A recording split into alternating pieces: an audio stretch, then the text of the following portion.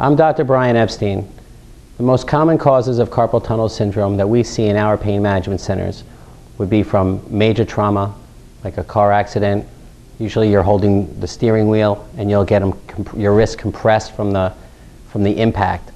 Also a slip and fall. If you, you fall, fall and you reach out, you could hurt your wrist that way. And also work injuries.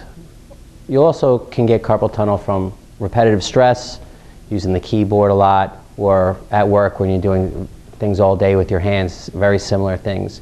Now this would cause an entrapment syndrome in your wrists where the nerve is getting compressed.